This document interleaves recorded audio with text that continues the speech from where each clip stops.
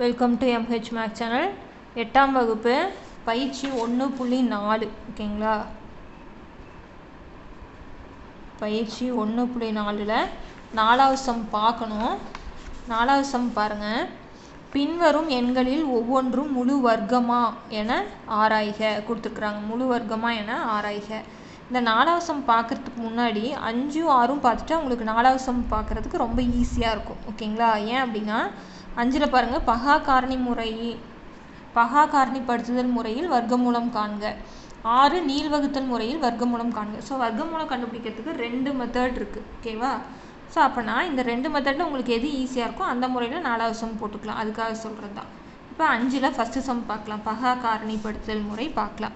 இப்போ first some என்ன கொடுத்துருக்குறாங்கன்னா நூற்றி நாற்பத்தி நாலு கொடுத்துருக்குறாங்க. இதில் வர்க்கமூலம் கண்டுபிடிக்கலாம். இப்போ நீங்கள் எப்பயும் போல் தானா வகுத்தல் போடலாம். இப்போ இது ரெண்டால் வகுக்கிறீங்க. ஸோ இங்கே இரட்டைப்படை இருக்கிறனால நான் பகா எண்கள் எடுத்து தான் நம்ம வகுக்கணும். அதில் ரெண்டு எடுத்துக்கிறேன். என்ன வரும்? ஏழு ரெண்டு பதினாலு ரெண்டு ரெண்டு நாலு. மறுபடியும் ரெண்டு எடுத்துக்கிறேன். மூ ரெண்டு வகுக்கிறோம். மூ ரெண்டு ஆறு மீதி ஒன்று அப்படின்னா பன்னெண்டு. அப்படின்னா ஆறு ரெண்டு பன்னெண்டு. மறுபடியும் ரெண்டால் போடுறேன். ஓ ரெண்டு ரெண்டு மீதி ஒன்று எட்டு. மறுபடியும் ரெண்டு போடுறேன். என்ன வரும்? ஒம்பது ரெண்டு பதினெட்டு மூணு போடுறேன். மூணு ஒன்று சரிங்களா? இது எப்படி ஆன்சர் எழுதணும் அப்படின்னா இருக்கிறத எழுதிக்கோங்க. அதாவது வர்க்கம் மூலம்னாலே ரூட்டில் இருக்கிறது தானே அர்த்தம். ஸோ அப்படின்னா எத்தனை இருக்குது ஒன்று ரெண்டு மூணு நாலு நாலு ரெண்டு இருக்குது ரெண்டு மூணு இருக்குது அதில் என்ன பண்ணணும் அப்படின்னு பார்த்தீங்கன்னா ஒரு நம்பரை வந்து ரெண்டு தடவை இருந்ததுன்னா ஒரு தடவை தான் எடுத்துக்கணும். அதாவது நம்ம என்ன சொன்னோம்? என் ரூட் என்ன இருந்ததுன்னா எண்ணெய் இருக்குது ஒன் பை டூ அதில் பாதி. அதில் பாதி எடுத்துக்கிறோம். அப்படின்னா ஒரு ரெண்டு இங்கே ஒரு ரெண்டு இதில் ஒரு மூணு. ரெண்டுக்கும் ஒரு நம்பர் தான் எடுத்துக்கணும். அப்படின்னா ஒன்று ரெண்டு மூணு. அவ்வளோதான் இந்த ரெண்டுக்கு ஒரு ரெண்டு இந்த ரெண்டுக்கு ஒரு ரெண்டு இந்த ஒரு மூணுக்கு மூணு. அப்படின்னா ரெண்டு ரெண்டு நாலு நான் மூணு பன்னெண்டு அப்படின்னா பன்னெண்டு பன்னெண்டு தானே? நூற்றி நாற்பத்தி நாலு ஸோ அப்படின்னா நூற்றி நாற்பத்தி நாலினுடைய வர்க்கம் எத்தனை? பன்னெண்டு. அவ்வளோதான் ரொம்ப ஈஸியான சம் அதுக்கு அடுத்தது செகண்ட் சம் போடுறோம் பாருங்கள் இரநூத்தி ஐம்பத்தி ஆறு. இப்போ இரநூத்தி ஐம்பத்தி ஆறுக்கு கண்டுபிடிக்கலாம். இப்போ ரெண்டால் போட்டோம்னா என்ன வரும்? ஓ ரெண்டு ரெண்டு. ரெண்டு ரெண்டு நாலு. மீதி ஒன்றுனா பதினாறாயிரமா? எட்டு ரெண்டு பதினாறு. மறுபடியும் ரெண்டால் போடுறேன். ஆறு ரெண்டு பன்னெண்டு நாலு ரெண்டு எட்டு. ரெண்டால் போட்டோம்னா மூணு ரெண்டு ஆறு ரெண்டு ரெண்டு நாலு. மறுபடியும் ரெண்டால் போடுறேன். ஓ ரெண்டு ரெண்டு மீதி ஒன்றாயிரம் பன்னெண்டுன்னா ஆறு ரெண்டு பன்னெண்டு. ரெண்டால் போடுறேன் எட்டு ரெண்டு பதினாறு. ரெண்டால் போடுறேன் நாலு. ரெண்டால் போட்டோம்னா ரெண்டு ரெண்டு நாலு ரெண்டுனா ஒன்று இப்போ பாருங்கள் இரநூத்தி ஐம்பத்தாறுக்கு ரூட்டு.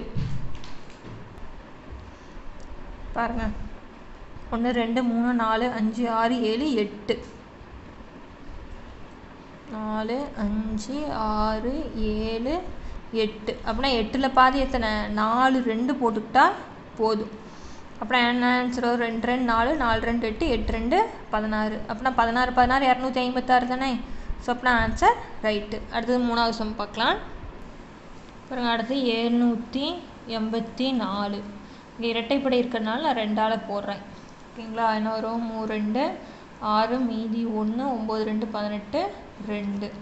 மறுபடியும் ரெண்டால் போடுறேன். ஓ ரெண்டு ரெண்டு மீதி ஒன்றாயிரம் பத்தொம்போது ஒம்பது ரெண்டு பதினெட்டு மீதி ஒன்று ஆறு. மறுபடியும் ரெண்டால் போகிறேன் ஒம்பது ரெண்டு பதினெட்டு மீதி ஒன்று எட்டு ரெண்டு பதினாறு.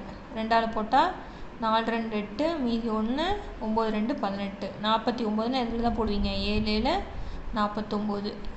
ஸோ ஓர் ஏழு ஏழு. இப்போ எப்படி எழுதலாம்? ஏழ்நூற்றி எண்பத்தி நாலு. எத்தனை எழுதணும்? ஒன்று ரெண்டு மூணு நாலு. ஒன்று ரெண்டு மூணு நாலு ஒன்று ரெண்டு. அப்படின்னா ஒரு ரெண்டு ஒரு ரெண்டு ஒரு ஏழு. ஓகேங்களா? ரெண்டு ரெண்டு நாலு ஏழு நாலு இருபத்தெட்டு. அப்படின்னா எட்நூற்றி எண்பத்தி நாலினுடைய வர்க்கம் மூலம் இருபத்தி எட்டு.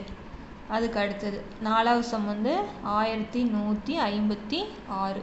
இப்போ ஆயிரத்தி நூற்றி ஐம்பத்தாறுக்கு நான் ரெண்டால் போடுறேன். ஐ ரெண்டு பத்து மீதி ஒன்று. ஏழு ரெண்டு பதினாலு மீதி ஒன்று எட்டு. ஓகேங்களா? அதுக்கு அடுத்தது மறுபடியும் ரெண்டால் போடுறேன். என்ன வரும்?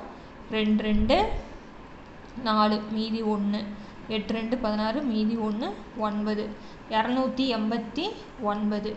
இரநூத்தி எண்பத்தி ஒன்பதை மூணால் வகுத்தோம்னாலும் நம்மளுக்கு என்ன ஆகாது? அடங்காது. ஓகேங்களா? இப்போ இதில் பார்த்தீங்கன்னா இரநூத்தி எண்பத்தி ஒன்பது அப்படின்னு என்ன வரும்? பதினேழு பதினேழு இரநூத்தி எண்பத்தி ஒன்பது. நீங்கள் மூணால் வகுத்தாலும் வராது ஏழால் வகுத்தாலும் வராது. அப்படின்னா நம்மளுக்கு என்ன வரும்? பதினேழு பதினேழு இரநூத்தி ஐம்பத்தி ஒன்பது. மறுபடியும் பதினேழு போட்டிங்கன்னா ஒன்று. அப்படின்னா ஆயிரத்தி நூற்றி ஐம்பத்தாறுக்கு என்ன எழுதலாம்? ரெண்டு இன்ட்டு ரெண்டு இன்ட்டு பதினேழு இன்ட்டு பதினேழு. அப்படின்னா ஒரு ரெண்டு ஒரு பதினேழு. அப்படின்னா ஏழு ரெண்டு பதினாலு மீதி ஒன்று ஒரு ரெண்டு ரெண்டு ஒன்று மூணு. அப்படின்னா ஆயிரத்தி நூற்றி ஐம்பத்தி ஆறுனா முப்பத்தி நாலு. ரெண்டு தடவை பெருக்கினாலும் வந்துடும் ஓகேங்களா? அப்படின்னா ஆயிரத்தி நூற்றி ஐம்பத்தி ஆறினுடைய வர்க்கம் மூலம் நம்மளுக்கு முப்பத்தி நாலு. அதுக்கு அடுத்தது அஞ்சாவது சம் பார்த்திங்கன்னா நாலாயிரத்தி எழுநூற்றி அறுபத்தி ஒன்று. இப்போ நாலாயிரத்தி எழுநூற்றி அறுபத்தி கடைசீட்டில் என்ன இருக்குது ஒற்றைப்படை இருக்கிறதுனால நான் மூணால் போட்டு காமிக்கிறேன். ஓகேங்களா? என்ன வரும்? ஓர் மூணு மூணு. மீதி ஒன்று.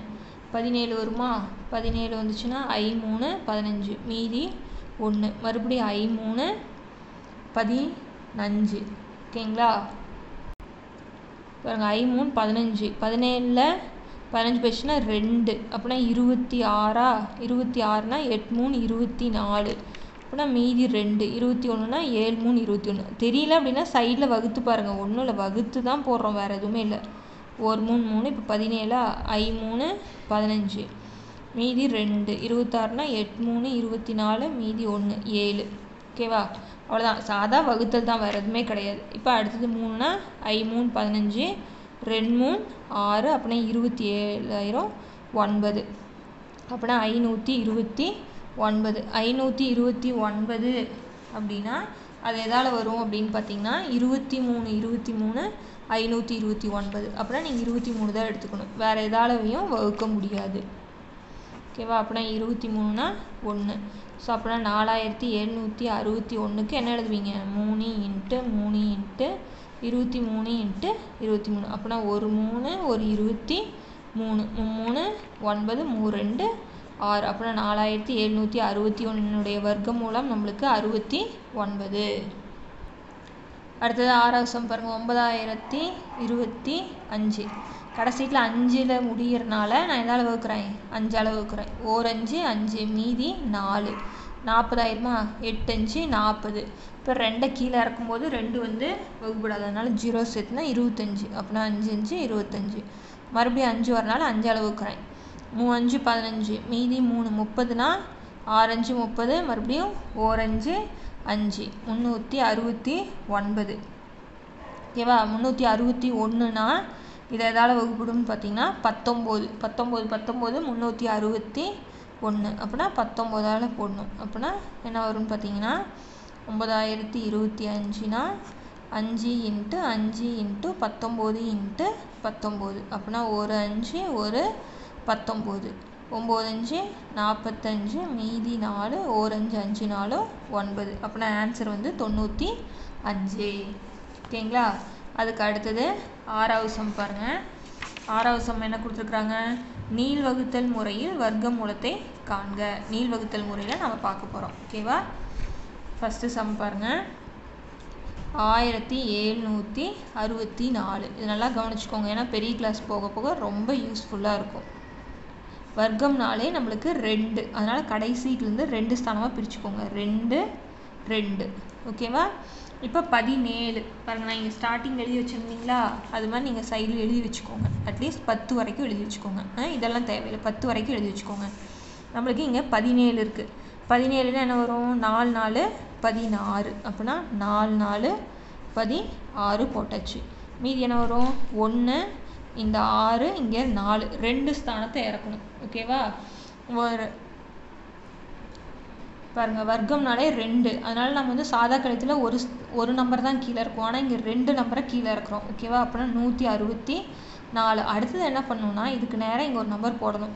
வர்க்கம்னாலே ரெண்டு நேரத்தமாக அப்படின்னா இங்கே மேலே இருக்கிற நாளை ரெண்டால் பெருக்கணும். இங்கே என்ன நம்பர் வந்தாலும் பெருக்கிறது கண்டிப்பாக ரெண்டால் தான் பெருக்கணும். அப்படின்னா நாலு ரெண்டு எட்டு. அடுத்து இங்கே ஒரு நம்பர் போடணும் இங்கே ஒரு நம்பர் போடணும். போடக்கூடிய இங்கே ஒரு நம் நான் இப்போ ஒன்று போடுறேன்னு வச்சுக்கோங்க. இங்கே என்ன போடணும்? ஒன்று தான் போடணும். இப்போ இங்கே போடக்கூடிய ஒன்றையும் எண்பத்தி ஒன்றையும் பெருக்கணும்னா ஓர் எண்பத்தொன்று எண்பத்தொன்று இங்கே அடங்காது. இப்போ நான் அடுத்தது என்ன போடுறேன் அப்படின்னா ரெண்டு போடுறேன். இந்த நாலை விட்டுருங்க. நான் ரெண்டை போடுறேன். அந்த ரெண்டை இங்கே போட்டுக்கணும். இப்போ இங்கே என்ன இருக்குது எண்பத்தி ரெண்டு. இங்கே என்ன நம்பர் போட்டேன்? ரெண்டு போட்டேன். இதுதான் பெருக்கணும் ரெண்டு ரெண்டு நாலு எட்டு ரெண்டு பதினாறு. ஸோ நூற்றி அறுபத்தி நாலு வந்துருச்சா? அப்படின்னா ரெண்டு ரெண்டு. ரெண்டு ரெண்டு நாலு எட்டு ரெண்டு பதினாறு. அப்படின்னா நூற்றி அறுபத்தி நாலு. அப்படின்னா ஆயிரத்தி எழுநூற்றி அறுபத்தி நாலினுடைய வர்க்கம் மூலம் நாற்பத்தி ரெண்டு. ஸோ ஃபஸ்ட்டு சம் பார்க்கும்போது கொஞ்சம் புரிஞ்ச மாதிரி இருக்கும்.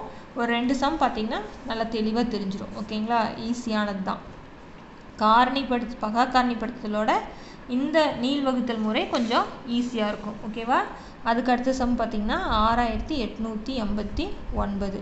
இப்போ நல்லா பாருங்கள் ஸோ கடைசீட்லேருந்து ரெண்டு ஸ்தானமாக பிரிச்சுக்கணும். இப்போ அறுபத்தி எட்டு அப்படின்னா இது பாருங்கள் அறுபத்தி எட்டு எங்கே வருது? அறுபத்தி நாலு வருதா? அப்படின்னா எட்டு எட்டு அறுபத்தி நாலு. எட்டு எட்டு அறுபத்தி நாலு. மீதி எத்தனை?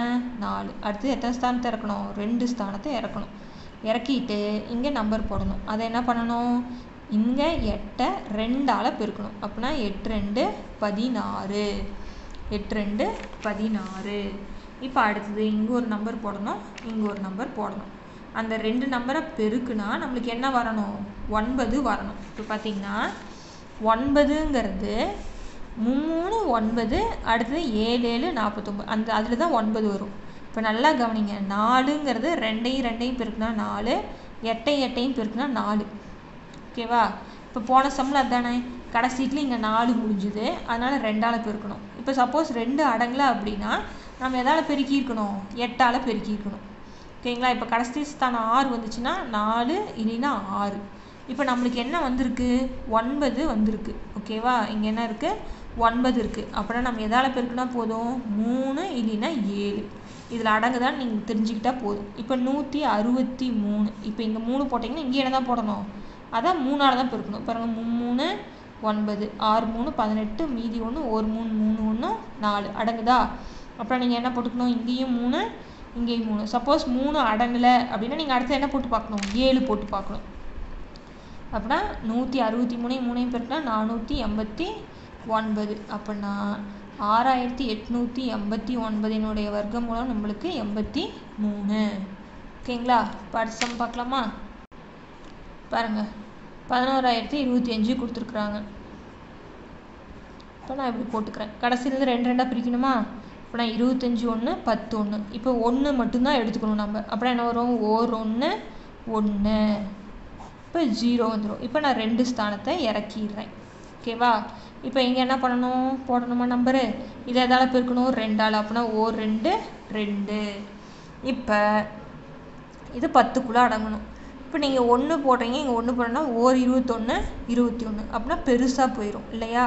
அப்படின்னா நீங்கள் என்ன போட்டுக்கணும்னா ஜீரோ ஜீரோ இப்போ ஜீரோ இருபது ஜீரோ இப்போ பத்தில் ஜீரோ போயிடுச்சுன்னா என்ன வரும்? பத்து. இப்போ ஆட்டோமேட்டிக்காக அடுத்தது இறக்குறீங்க. சாதா வகுத்தலில் போடுற மாதிரியே தான் அடங்கலை அப்படின்னா என்ன பண்ணுவீங்க? அடுத்த ரெண்டு இறக்கிறதுக்காக ஜீரோ போட்டுக்குவீங்களா? அதே மாதிரி தான் இங்கே எப்படி வருதுங்கிறத விளக்கம் கொடுத்துருக்கேன் வேறு எதுவுமே இல்லை. இந்த ஸ்டெப்பு போடாமல் இங்கே ஜீரோ போட்டுட்டு இருபத்தஞ்சு நீங்கள் இறக்கிக்கலாம். தப்பு இல்லை. இப்போ அடுத்தது இங்கே என்ன பண்ணணும்? பெருக்கணுமா? இப்போ என்ன வரும்? இதை ரெண்டால் பெருக்கணும். அப்படின்னா பைத்து ரெண்டு இருபது. பைத்து ரெண்டு இருபது. இப்போ கடைசீட்டில் அஞ்சு. அஞ்சு வரணும் அப்படின்னா நம்மளுக்கு கண்டிப்பாக எதால் தான் பெருக்கணும்? அஞ்சால் தான் பெருக்கணும். அப்படின்னா இரநூத்தி அஞ்சையும் அஞ்சாலையும் பெருக்கணும். வரும் அஞ்சு அஞ்சு இருபத்தி ரெண்டு ஐ ரெண்டு பத்து. ஓகேவா?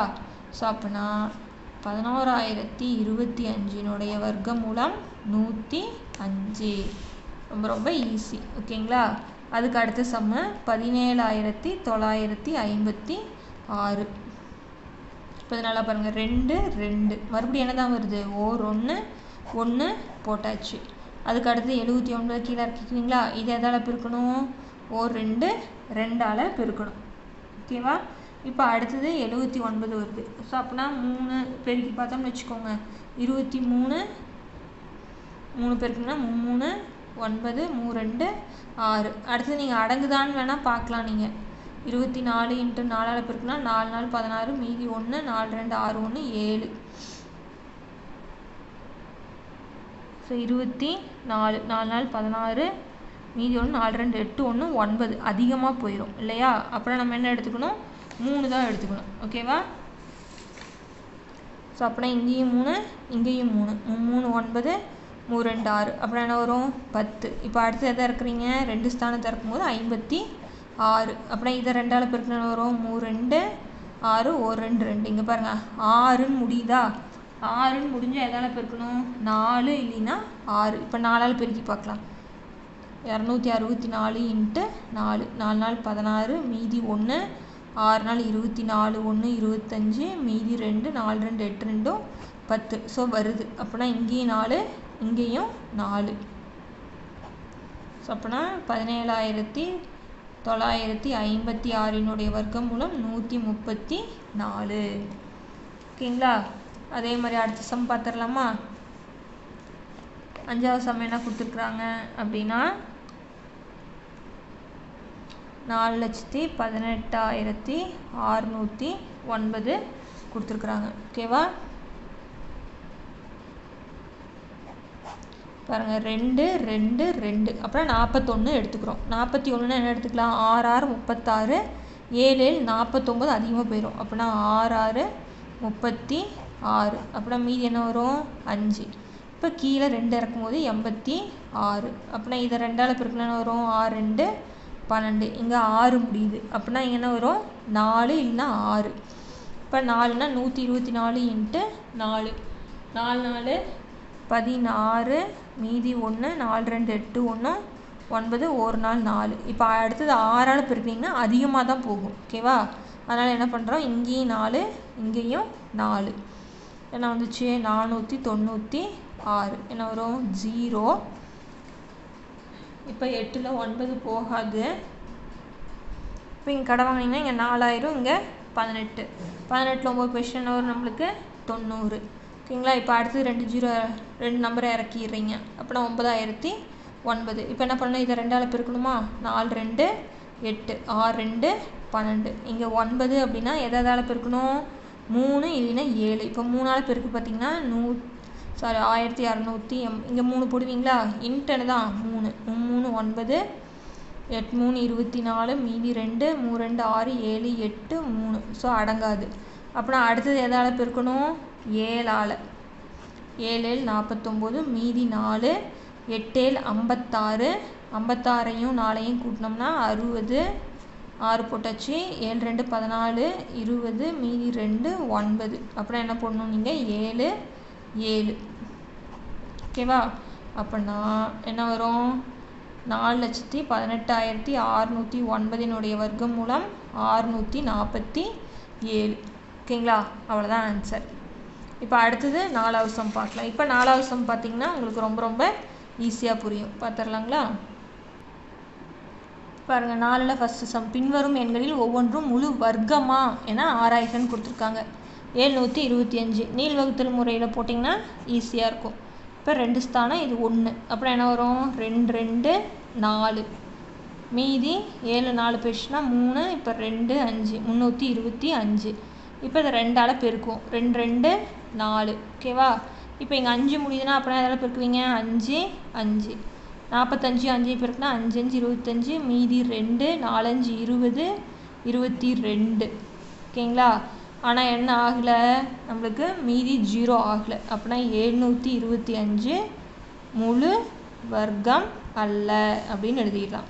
நம்மளுக்கு மீதி ஜீரோ வந்தால் தானே முழு வர்க்கமாக இருக்கும். ஸோ இது வராதனால முழு வர்க்கம் அல்ல அப்படின்னு எழுதிடலாம். அதுக்கு அடுத்தது நூற்றி தொண்ணூறு. ஓகேவா? இப்போ நூற்றி தொண்ணூறுக்கு அதே மாதிரி எடுக்கிறோம். ஓகேங்களா? இப்போ பாருங்கள் இது ரெண்டு இது ஒன்றா பிரிச்சுக்கிறோம். ஓர் ஒன்று ஒன்று போட்டாச்சு ஜீரோ. இப்போ ரெண்டு ஸ்தானத்தை இறக்கிடுறோம். இப்போ இதை ரெண்டாவது பெருக்கிறோம் ஜீரோ.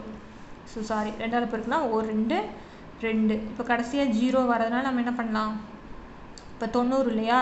தொண்ணூறுங்கும் போது நீங்கள் எதில் போட்டு பார்க்கலாம் அப்படின்னு பார்த்தீங்கன்னா இருபத்தஞ்சி போட்டிங்கன்னா இருபத்தஞ்சி அஞ்சு நூற்றி இருபத்தஞ்சி அதிகமாக போயிடும் அடுத்தது இருபத்தி நாலில் போட்டிங்கன்னா நாலு நாள் பதினாறு மீதி ஒன்று நாலு ரெண்டு எட்டு ஒன்று ஒம்பதாயிரம் அப்போனா மூணு நாளை போடலாம் மூணு ஒன்பது மூ ரெண்டு ஆறு. ஆனால் இது என்ன ஆகுது? நம்மளுக்கு மீதி வந்து என்ன வரல? நம்மளுக்கு ஜீரோ வரல. அப்படின்னா நூற்றி தொண்ணூறு முழு வர்க்கம் அல்ல அப்படின்னு எழுதிடலாம் நம்ம. ஓகேங்களா? அதுக்கு அடுத்த சம் பாருங்கள் எட்நூற்றி நாற்பத்தி ஒன்று கொடுத்துருக்குறாங்க. அதே மாதிரி எட்டுனா மூணு ஒன்பதாயிரும். அப்படின்னா ரெண்டு ரெண்டு நாலு. இப்போ நம்ம கழிச்சோம்னா நாலு. இப்போ நாற்பத்தி ஒன்றை கீழே இறக்கிக்கிறோம். இப்போ இதை பெருக்கணும்னா எதால் பெருக்கணும்? எப்பயுமே வர்க்கம்னா ரெண்டு. அப்படின்னா ரெண்டால் தான் பெருக்கிறோம் ரெண்டு ரெண்டு நாலு. இப்போ இங்கே ஒன்று வருது அப்படின்னா ஒன்று இல்லைன்னா ஒன்பது. ஓகேங்களா? ஒன்று போட்டிங்கன்னா ஒரு நாற்பத்தொன்று நாற்பத்தொன்று அப்படின்னா ஒன்பது தான் போடணும். அப்புறம் நாற்பத்தி ஒம்பது இன்ட்டு ஒன்பது. ஒம்பது ஒம்பது எண்பத்தி ஒன்று மீதி எட்டு. ஒம்பது நாள் முப்பத்தாறு. முப்பத்தாறுனா எட்டை கூட்டினீங்கன்னா நாற்பத்தி நாலு. அப்புறம் இங்கேயும் ஒன்பது இங்கேயும் ஒன்பது. அப்புறம் நானூற்றி நாற்பத்தொன்று வந்துருச்சா?